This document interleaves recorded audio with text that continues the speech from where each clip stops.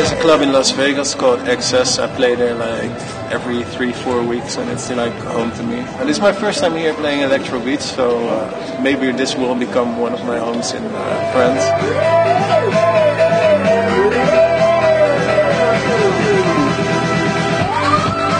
A lot of different kinds of French electronic music. Of course, you have Dave Guetta. Of course, you have Cassius. You have Daft Punk. You have Justice. Like you have like every aspect of electronic music you have in France. It's like it's like basically like a producer version of what we have of DJs in Holland.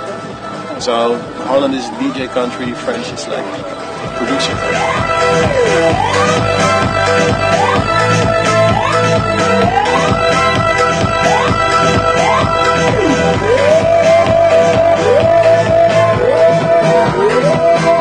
always works is one more time by Daft Punk. You can play it everywhere around the world, and everyone still it's like it's like an undying classic. Like you can never, never get you can never play it enough.